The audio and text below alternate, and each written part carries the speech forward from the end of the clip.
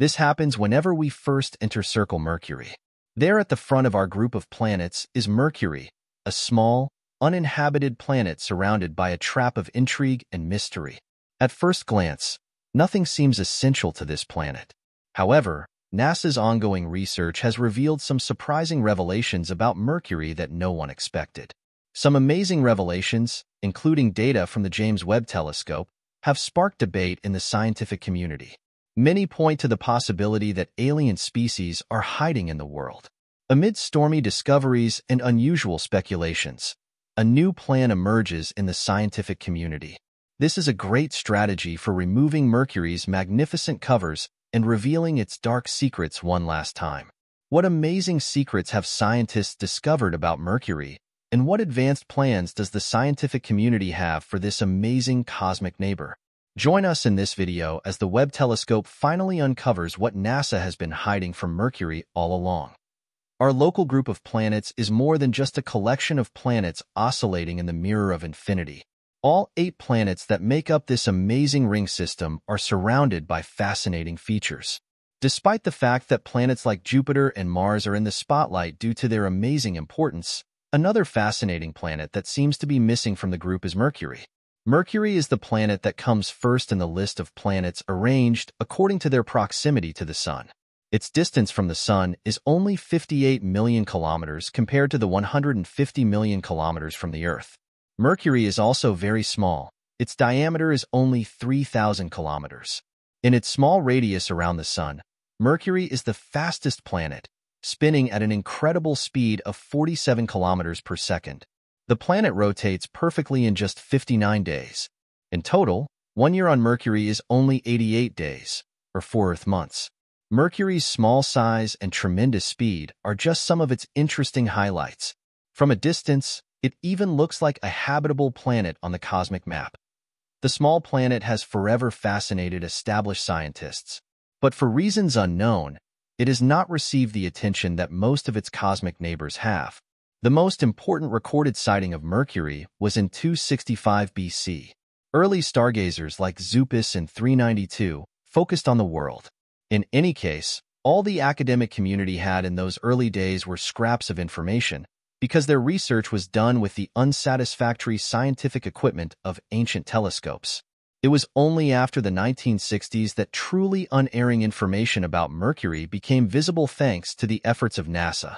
A few years ago, NASA released the first real images of Mercury to the public. These stunning photographs showed Mercury as a divine example of magnificence and complexity. However, it did not work effectively. In fact, Despite long-term planning and development efforts to explore Mercury, scientists have only been able to look at it directly. Scientists struggle with Mercury, like other planets, because it is close to the Sun. The Sun's unforgiving rays and bright light can damage optical instruments such as telescopes if they stare at Mercury for too long.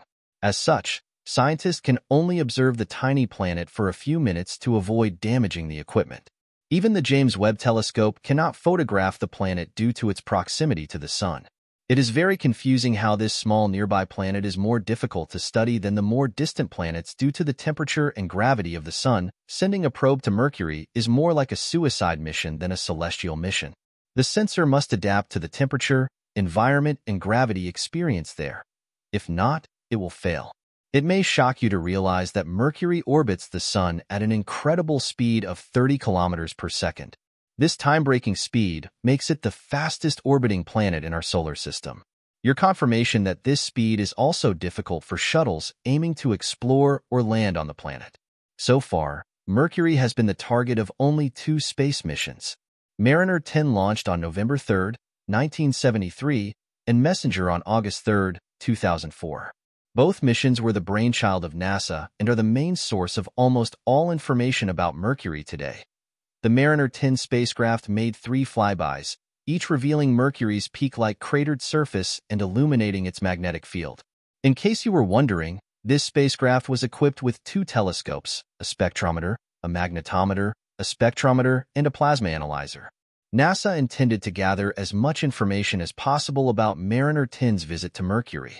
As it turned out, the probe slowly tracked its way to a small, fast-moving planet.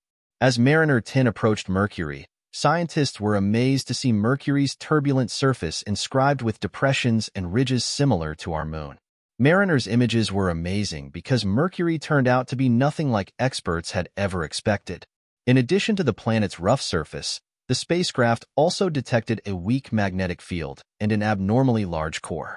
In total, Mariner took more than 2,700 images of Mercury, giving scientists an unprecedented view of the intriguing landscape. Mariner's second flyby took place on September 21, 1974, capturing the southern polar region of the electric planet. Mariner 10 last flew by in March 1975, after which it stopped transmitting signals to Earth. Later investigations revealed that the spacecraft ran out of gas and was unable to complete additional orbits. Mariner 10's great work continued 30 years later when NASA's Messenger left for a nearby planet. Like its predecessor, Messenger not only flew by, but could also orbit the planet. Thanks to this, scientists were able to collect more extensive and interesting information about the planet. Armed with exciting images of Mercury, NASA sought deeper insights with this mission. This time it wasn't just about the pictures. The agency needed information about the atmospheric conditions and chemical composition of the planet.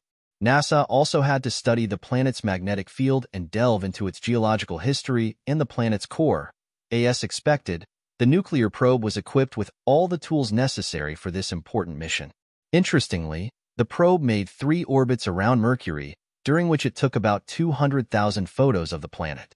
These photos were extraordinary because, unlike the Mariner mission, they covered both sides of the planet.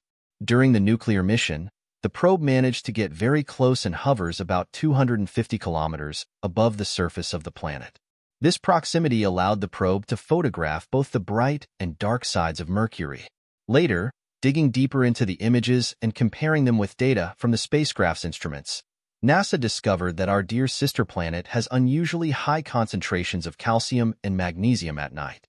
In addition, the planet's magnetic field appeared unusually twisted, appearing increasingly stronger in the northern regions.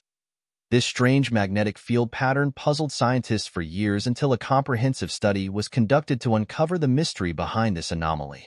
Mercury's strange magnetic field is the result of how the planet formed in its core. The magnetic fields of the planets are created as a result of reactions in their cores. For example, the Earth's inner core contains liquid iron. However, near the inner layer, this iron solidifies. Continuous or moderate hardening of liquid iron creates a magnetic field. Then, strong electric currents are generated, creating a large magnetic field that reaches into space. This is exactly how the lines of force of the Earth's magnetic field are created. However, it is a different scenario for Mercury. Mercury's method of generating a magnetic field is so strange that it has baffled scientists. A recent study led by W of the University of California, Los Angeles found that iron goes from liquid to solid at the outer boundary of the core. This is quite different from Earth, where the transition from liquid to solid occurs at the inner boundary of the core. W commented, We figured out how Earth works, and Mercury is another rocky planet like Earth that has a core, so we thought it would work the same way. But no. It's like a blizzard with snow. Cloud. Center and base. Our analysis of Mercury's magnetic field shows that iron reigns throughout this fluid, which drives Mercury's magnetic field. Further research showed that W studies were consistent with data from NASA's MESSENGER mission. The surprising revelation led scientists to believe that planets have more than one way of creating a magnetic field. Although the cores of Mercury and Earth contain similar components, such as sulfur and iron, the specific differences between the two planets can create remarkably different ones. This challenges conventional models and forces scientists to refine their understanding of how planets develop unique properties based on their individual histories and environments. In addition, research on the composition of the surface of Mercury gave surprising results. Unlike its more distant and larger neighbors, Mercury's surface lacks significant amounts of iron oxide, giving it a darker appearance compared to the rusty red surfaces of Mars or even the Moon. This scarcity of iron oxide suggests that Mercury formed under different conditions than other terrestrial planets, perhaps as a result of intense heat or chemical processes that changed the composition of its surface. Recent studies using data from the MESSENGER mission have also detected volatile elements, such as sulfur and potassium, on the surface of Mercury. These findings challenge previous assumptions about the geological history of the planet and provide new insights into its formation and early evolution. The presence of these volatile elements indicates that the surface of Mercury has undergone complex chemical interactions and changes over billions of years, in addition to its geological and magnetic mysteries. Mercury also presents exciting challenges for future study and understanding.